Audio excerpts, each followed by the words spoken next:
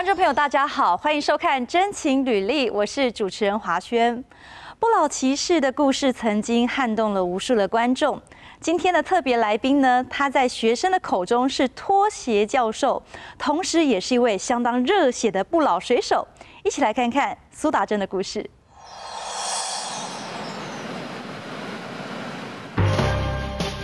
我是苏达珍，学生都叫我拖鞋教授。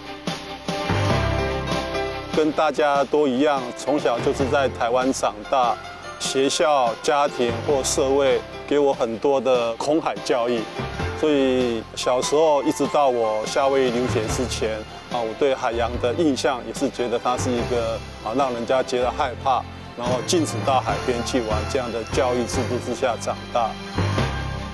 那后来因为到夏威夷去，然后发觉那边人是非常的亲近海洋。那从夏威夷回来以后，我就很想把这样的一个岛屿国家跟海很亲近的这样一个理念啊，让国人开始也能够去认识、亲近、喜爱我们台湾的海洋。从两千零九年第一次独木舟环岛，两千零一十一年，那我们开始成立这个基金会，两千零一十三年，我们带领一堆阿公阿妈。啊，开始划船，然后绕过清水断来，然后在两千零一四年，我们完成了一部《梦想海洋》的电影。两千零一五年，我们带着轮椅族的这些所谓的残障人士，我们也划船划过清水断来。慢慢的啊，社会上开始了解说，海是可以亲近的。海洋精神就是你多冒一点险。然后你会获得比别人更多的机会。所谓冒险，不是说冒着生命的危险短大妄为。其实我在夏威夷就得到一个很大的启发。所谓冒险是周详的计划、谨慎的实行。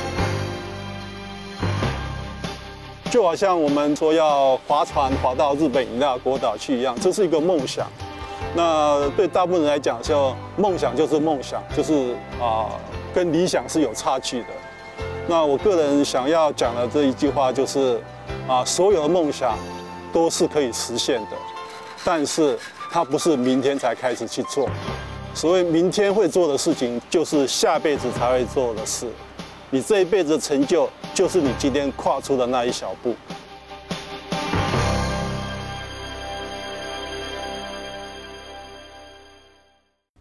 今天要介绍一位不老水手，他拥有着无限的海洋梦。每次想到独木舟，就会想到他。欢迎苏达珍苏老师，你好。啊，主持人你好，好，我是拖鞋，大家好。每次只要看到苏老师的打扮，你真的是很酷哎！你永远都是一个夹脚拖，对不对？呃，在夏威夷的时候就很难把鞋子穿在脚上，所以回到台湾的时候就沿袭的那个习惯。那后来在海洋大学教书的时候，因为都是带学生到海边去，所以海边的话也很难把鞋子穿在脚上，所以久而久之就好像天天都穿着拖鞋，后来就叫做拖鞋，拖鞋就变成我的外号。没错，因为你教书二十五年的期间呢，最大的特征就是老师是冷面笑匠，有没有？看起来很严肃，但其实有点搞笑。然后还有脚上这个夹脚拖就是它的特征。这一切说起来就是你有个海洋梦，所以。在早期的时候，你有到夏威夷去读书，那你那时候读的是什么？呃，那时候因为石油工业非常的受到重视，所以我读的叫做海洋工程，啊，就是到海上去做一个啊钻井平台，然后潜到水底下去看那个平台啊在海上的运动情形。哦，那因为这样一个海上的经验，后来海洋就变成我的一个爱好，这样子。那时候去读书的时候，大概是西元多少年的时候？嗯，因为夏威夷变化很大哎。三年前吧。嗯。啊，三十年前。差了十年。应该应该有三十年前了。三四十年前了。对，那你那时候三十年前来到这个夏威夷州立大学在研读的时候，你看到了夏威夷的海洋是什么？呃，其实从台湾去的时候，我本来以为说夏威夷应该跟台湾会很类似，啊，但是后来才知道说，啊，台湾的人是很怕海，但是夏威夷的人好像天天都在海里面。那我每次到海边去的感觉，好像海里面的人比陆地上的人还多 啊，大部分人都是在海里面。那以前在台湾的经验，或者是现在还在台湾的感觉，好像海边都是没有人的。哦，我们小时候的教育就是，比如说爸妈，包括我自己的爸妈，就会说：“我告诉你哦，曾经有人在这边就是有伤亡，你不要靠近海，其实是很危险的。”对，我想，呃，这也是为什么我后来成立舒缓基金会的原因。那我一直认为台湾的教育都是所谓的恐海教育，把海形容的非常的恐怖。那夏威夷给我的一个教育方式，好像他们是一个亲海教育，啊，让每个人都是亲近海洋。那恐海教育跟青海教育哪一个是比较正确的教育方式？好像恐海教育意外事件还比较多哈。哦，因为大家可能有些人没有学会可能基本的游泳或者是救生的观念。你那时候看到夏威夷，因为我之前去夏威夷三次，我都有去恐龙湾浮潜啊，然后我有去西部海岸看鲸豚啊，看海龟。我想说。可是早夏威夷本地人告诉我说，就像你讲，你那时候去读书年代的夏威夷，不管是珊瑚礁或者是海洋，当你潜水下去的时候，看到的是完全不同的景象。对，也也许华信你看的比我还多了。我在夏威夷求学六年，就只有教室、寝室、实验室啊。教室、寝室、实验室，那不是研究这个专有的那个不过因为后来的研究计划是到海上去做很多研究，所以后来就是在夏威夷协会的潜水、协会的冲浪、协会的所有海边的一些啊活动，那就爱上了这个海洋。那我认为这样的一个学习过程，才是真正你有学习到啊你应该学习的东西。所以我后来回到台湾的一个教学方式，也是实际的带着学生到海边去做从从事实际的在海边上做活动，而不是老是在书本上海洋物理、海洋化学、海洋地质、海洋生物，这样好像你对海洋的印象并不深刻，而且你也没有真正的去了解这个海洋。你是回到母校海洋大学教书吗？你就就像我们开场介绍，你就是这样的一个 style，学生都很喜欢。一般遇到教授啊，有的甚至想躲都来不及。可是为什么大家学生都这么喜欢你啊？呃，我上课比较轻松，然后没有学生被我当掉，所以应该是这么好。对学生来讲，这个老师比较好混吧。听说你还有什么爱情顾问呢？你还有什么三套理论哦？因为我们知道大学 university 嘛，任你玩四年，那中间可能就会想说打工啦，然后除了考试交报告之外，就是谈恋爱啊。那有些学生可能你最近看他心情不好，你可能就要说你怎么啦？哦，老师没有啦，失恋啦。对对，我我觉得在大学时代那个男女学生啊，有个谈恋爱的过程是蛮重要的。但是你有那个三个理论，我觉得太有趣啦。啊，讲第一个啊，那个 买乐透的。对啊，因因为那主要是当初有一个学生，他非常的木讷，然后他大四的时候跟我讲说，他来海洋大学四年，只有去过图书馆跟教室。啊，那我说你这样子大学四年，大学四年太可惜了，一定要尝试去交个女朋友。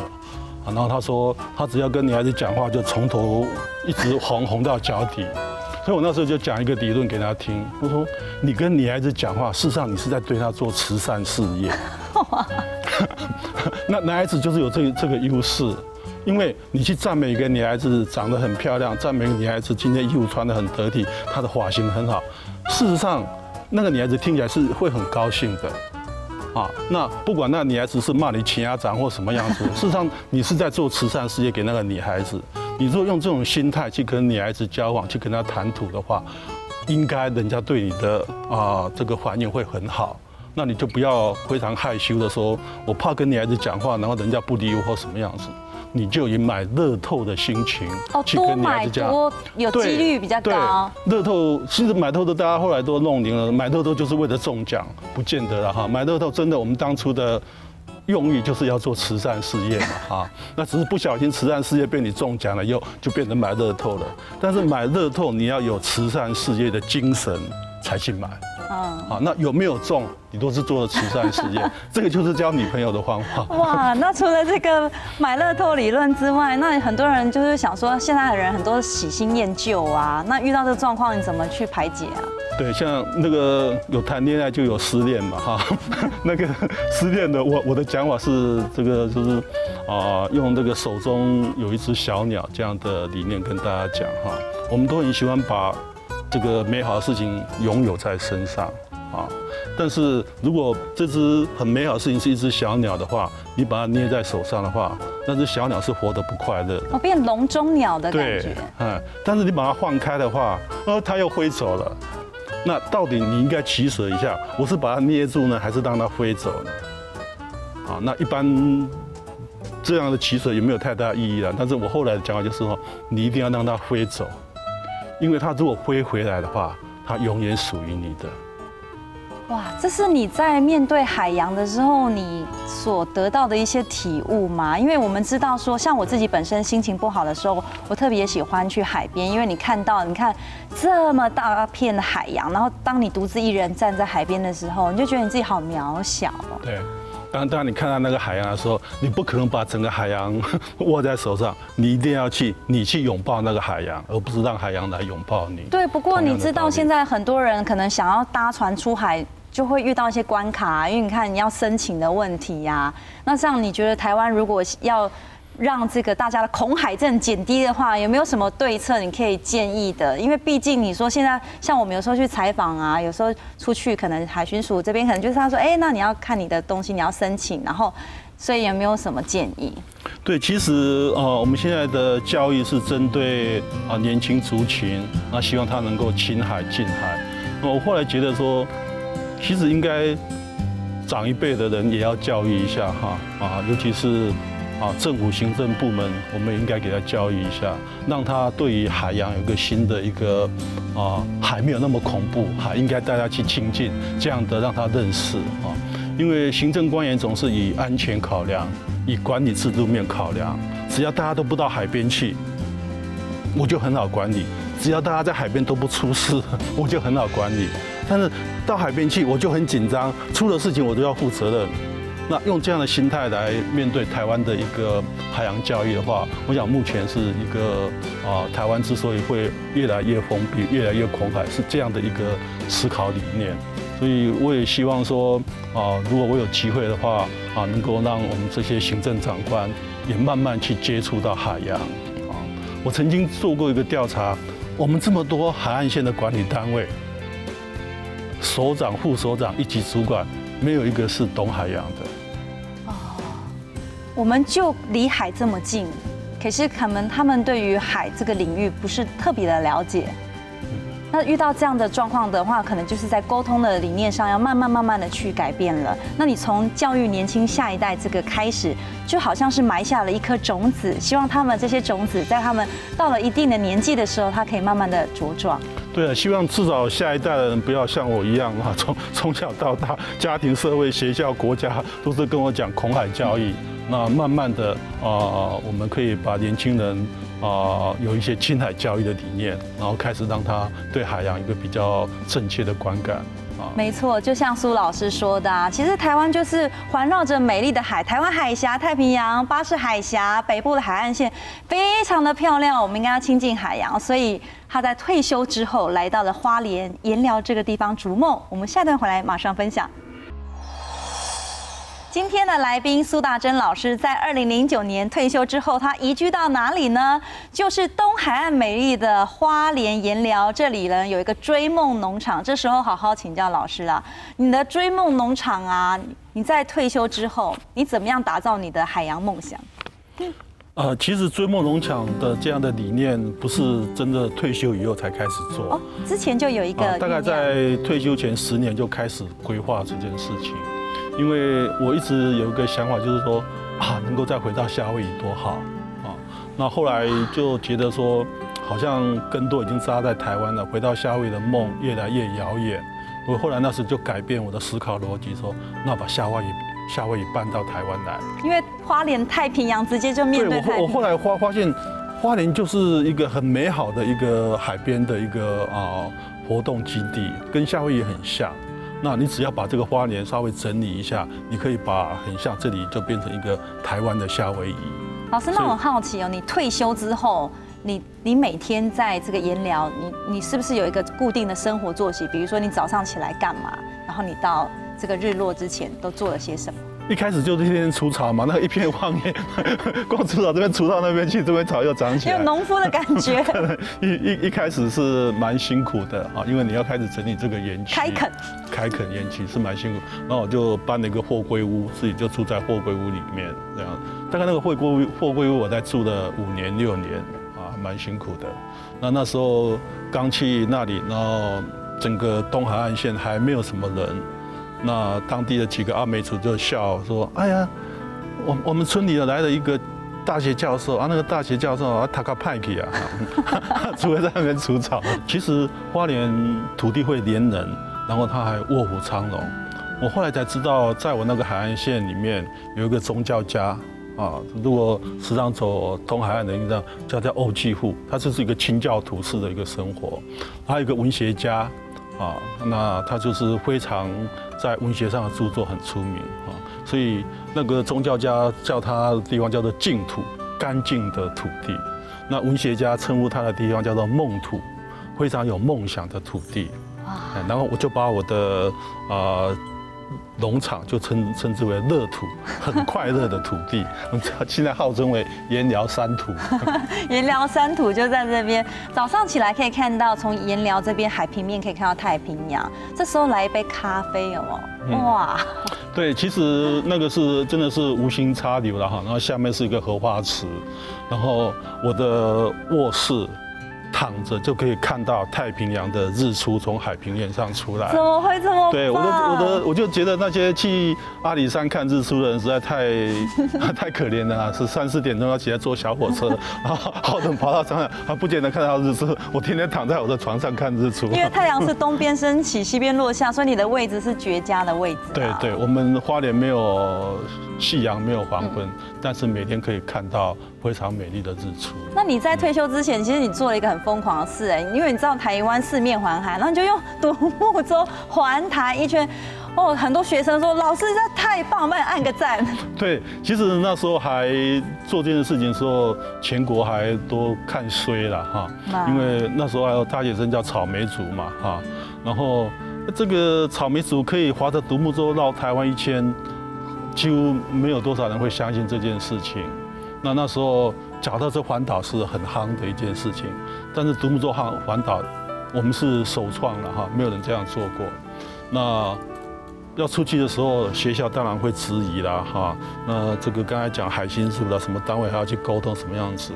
那学生到底有没有这个勇气，有这么毅力？那你老师要付出多少代价？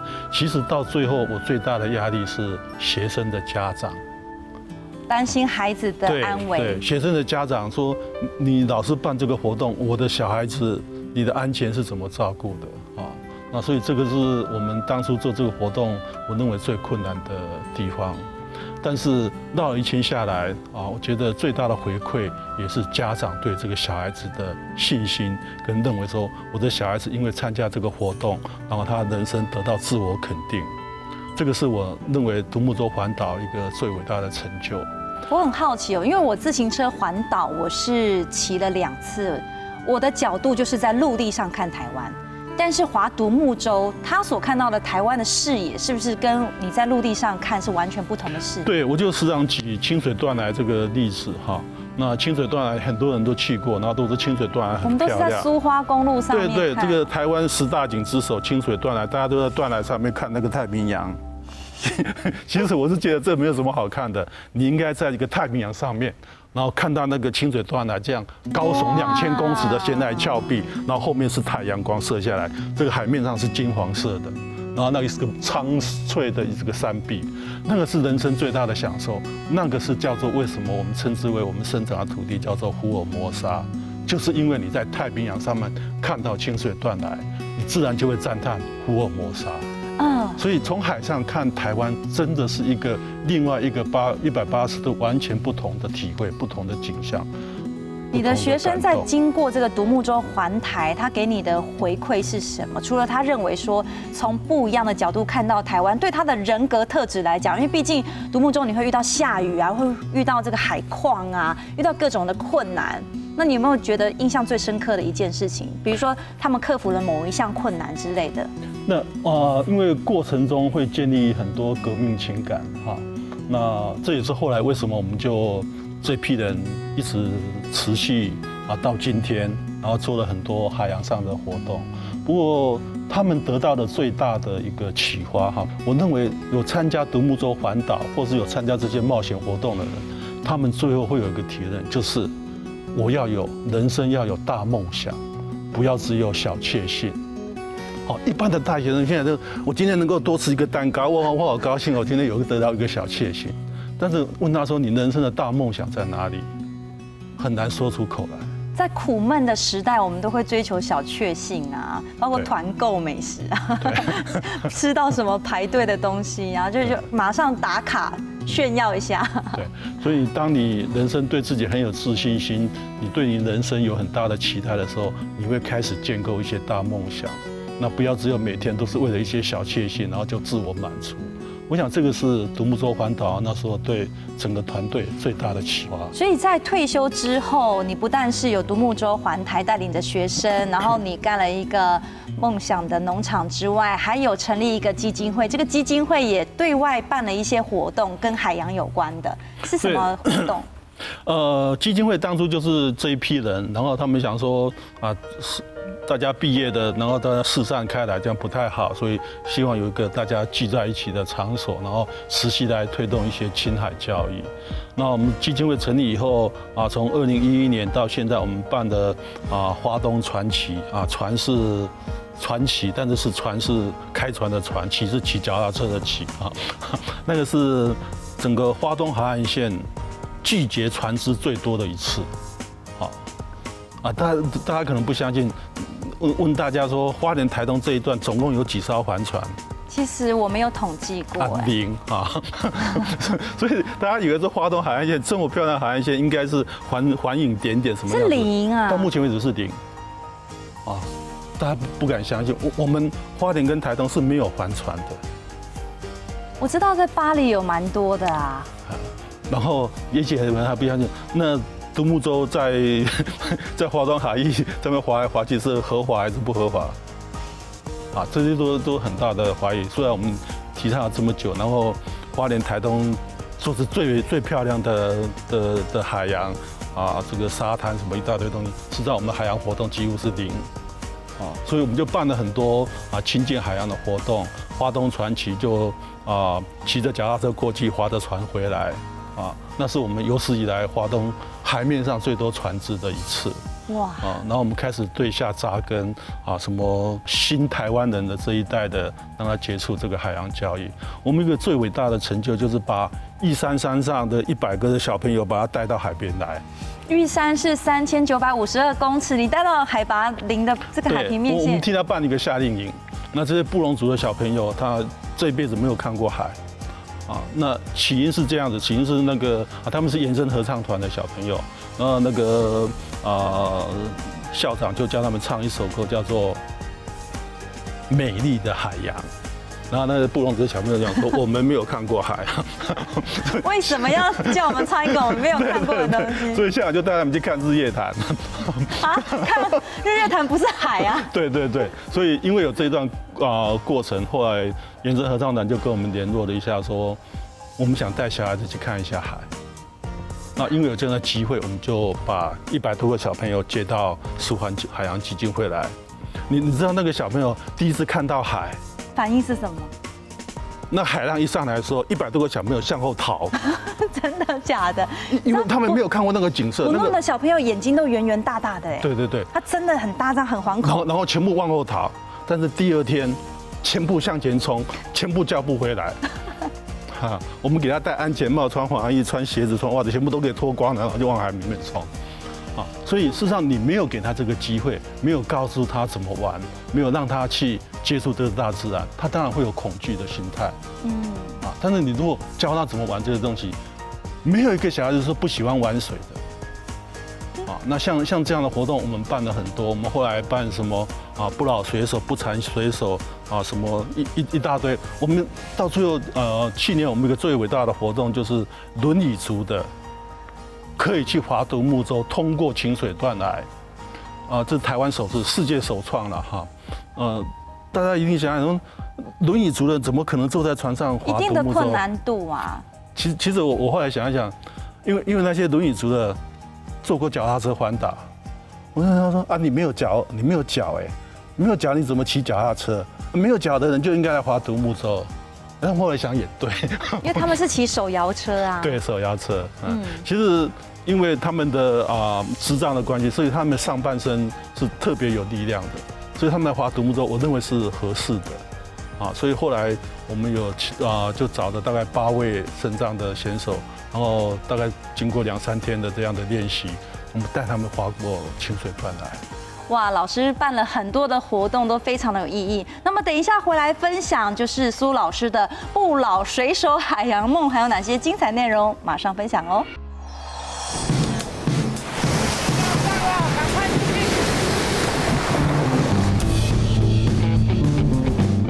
手一次滑，滑二十四小时就到达日本伊那国岛，比钓鱼台还近。我只有跟我妈讲说我要去环游世界，她可能不知道不知道我在讲什么。从我们家后门就滑出去，这样的出境手续，我们算是第一个。好傻的！我要那个船。你需要的船就是最好的。我们想要那种卡住卡住水，就长这样吗？要怎么办嘛，光哥？怎么办嘛？等一下，等一下，先等一下，先等一下。反正那边在在在在。一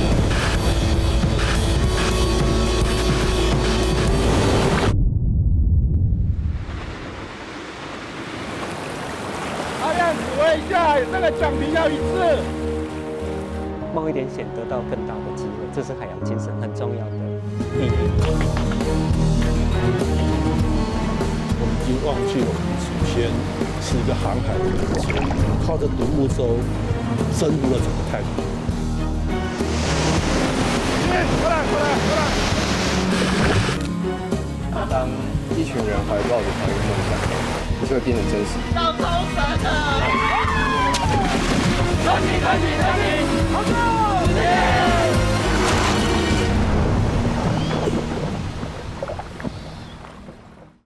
苏老师，这个纪录片太热血了啦！梦想海洋，看到这一群猛男们 在划独木舟的姿势，然后老师就是好像是一个总教头，没有？就是虽然看起来有点严肃，其实学生都很喜欢你，因为你这个梦想计划，让这一些。外号称是草莓族的小男生，他们心里都变得更坚强。对，事实上他们啊来到呃拍这部电影的时候，就跟一般的人是一样的，对海也是一个陌生的。但是经过这样一个洗礼以后，他们对海就是影片上看出来之后非常有热情。我看到这个影片说什么快要到冲绳，你们当初整个计划的目的地是 Okinawa 是不是？对，我们打算就是从花莲滑出去，就一直滑到日本。然后做我们这整个计划的结束。那这样航行需要几天的时间？呃，其实我们的计划叫做啊背包客啊环游世界的背包客。那我们计划是跳岛式的背包客，所以是一天跳一个岛，那或是两天跳一个岛，那一个岛一个岛跳过去，用这样的方式来变成我们所谓的海洋背包客，就跟一般的背包客到一个背包客栈一样的方式，只不过我们走的是水路。很累耶，你看你这二十四小时的那个体力有没有？还有遇到一些浪况不一样。那这个计划到最后执行的怎么？呃，其实，在拍这部电影到最后结束的时候，我们还没有出发啊。我们大概走到山海里，然后就就被相关单位叫回来，被召回了。所以我们整个电影就拍摄到说我们船划出去了啊，那。到底是怎么样未知情况，这个电影就结束了，这样。就是哔哔回来，犯规回来。嗯，所以这电影在最后有讲一个事情，叫做南风再起。那这件事情必须要持续再做下去。那就在拍这部电影的时候，后来刚好啊，日本冲绳国家国立啊博物馆，他们有发发表一篇文章，说他们认为。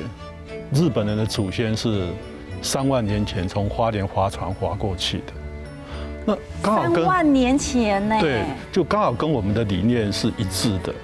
啊，那他们找到这样的一个考古证据，但是他们没有办法理解，三万年前怎么有可能划船划到日本去？那时候也不是很好的这个对，这个材料去做船那。时候还是石器时代，连连那个刀斧把它树干挖空的这样的技术都没有，所以唯一有可能的啊的船具就是竹筏。只是一个简单的竹筏，可以从花莲一路这样子到冲绳，到日本。对他们认为唯一的方式就只只有这样子，但是他们没有办法相信说真的有人从花莲，然后就竹筏就划到日本岛，这件事情是可能吗？但是考古的证据就证明的确是这个样子，所以他们就想说，那我们现代人来试试看。所以老师，你该不会很疯狂？你就是要有这个计划吧？是的，我们就是现在就在做这真件事情，的假的？你要用你那个竹筏，你真的是要弄一个竹筏去？对，我们已经在做了啊。那个我们事实上我们做了很多，也不是也不是很疯狂了哈。我们还是有做了很多考证，然后认为阿美族他们以前做的竹筏是什么样子，那当初的服装是什么样子，当初的航海知识是什么样子，那当初是怎么看这个风浪流潮汐如何导航过去的，我们是做了一些研究，我们认为这件事情是可行的。我一定要证明我们是日本人的祖先啊，所以一定要划过去。那这样来说，你是要跟不老水手一起去，还是跟热血年轻人一起去？呃，不老水手事实上是另外一个梦想了哈。那不老水手的这样的理念是当初因为《不老骑士》这部电影，那不老骑士欧迪桑欧巴桑骑摩托车到台湾，也是很感动很多人。那这八名的水手你怎么号召过来的？其实一开始很难啊。啊，都是不幸变成我的朋友的人就被我恐吓啊，说是不是朋友？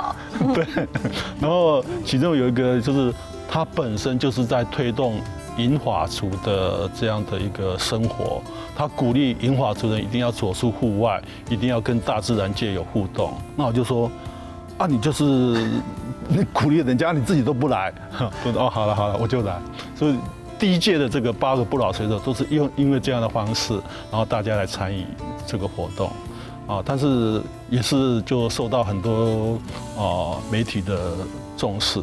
第二年我们就来了四十几个，啊，就非常成功。那我们今年二零一六年已经办第四届了，我们今年已经走上国际舞台，我们称之为国际不老水手。很棒。我们还是要划过清水断来啊，人生 啊青春不留白，这个白发族也不要留白哈。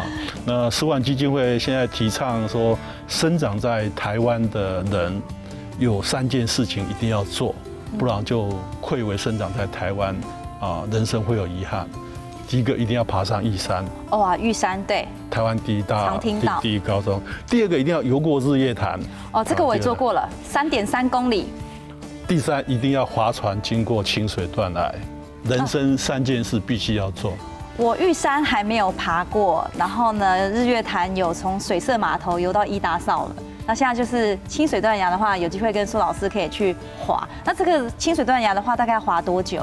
呃，它的全长是十二公里，那一般独木舟特大概一小时可以划四公里，所以大概三公里就可以通过清水段来，并不会很困难。四个小时左右。对，那这个也不难，因为你如果你骑单车环岛的话，嗯，平均大概花九天到十二天才可以绕整个台湾一圈嘛。对，所以不难，而且也不危险，请大家来参加。请大家不要这么。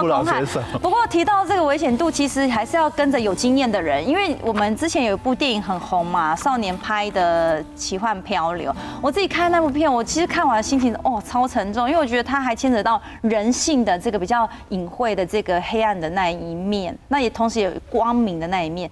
你当初也是经历过一个 二十四小时的奇幻漂流。那个呃，那个少年拍的故事，这是我最近二十年来唯一看的一部电影啊。我很少去看电影，但是那个少年拍电影那个广告一出来的时候，因为我在海洋大学，我是教海上求生，那我是以这个找茬的心态去看那部电影，因为海上求生有很多必要的正确的知识跟技术。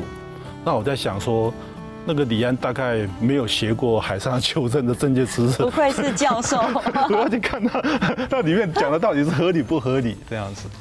那我后来就是有有去看这部电影，那我必须给李安一个很大的肯定，他里面所讲的这些求生的一个过程技术都是正确的。除了那只老虎很会吃是骗人的之外，大致 跟我想象中的一样。那也是因为这个电影看完以后，我自己也觉得很惭愧，说我教了二十几年，但是都是纯理论，我没有跟少年派一样，真正在海上有漂流这样的经验。所以老师你要给自己找茬一下，对，所以我后来就自己到海上去给他漂。你漂流那二十四小时你在想什么啊？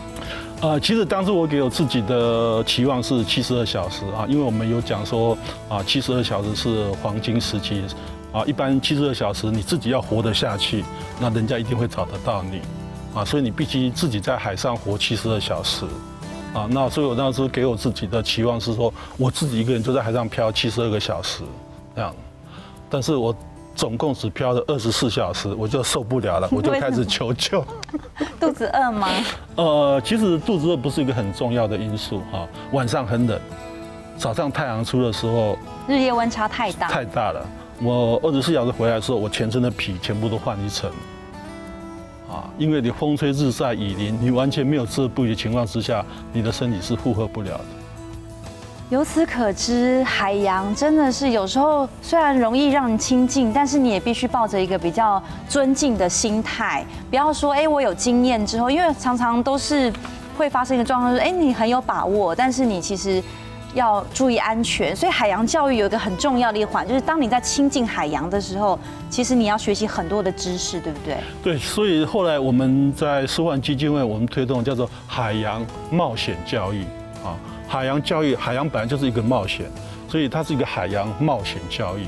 那冒险就是刚才华先所讲的，你要有一个充分的准备、充分的了解，才去做冒险这件事情。那我们后来对冒险这两个字有一个啊比较像座右铭这样的一个阐述啊，说哈，这个伟大的冒险家都不做冒险的事情。所谓冒险是周详的计划、谨慎的执行，叫做冒险。啊，所以我们现在在推动这些冒险教育的时候，我们都是先让大家有一个很周详的计划，然后你在执行这个计划的时候，你要非常的谨慎的去执行这个计划。完成这样的一个过程的人，就是一个很伟大的冒险家，而不是说冒着生命危险、挡到万为随便去乱做就叫冒险家。这刚好是一个错误的一个教育示范。啊，所以冒险是周详的计划、谨慎的执行。没错，老师粗犷的外表呢，其实隐藏着一颗细腻的心。今天真的非常谢谢邀请苏老师来到现场哦。等我清水断崖，好，我还没有去过，我一定要让你带路。那我们今天节目时间有限，真的谢谢苏老师来到现场。那下回再跟我们分享哦。谢谢，谢谢主持人，谢谢。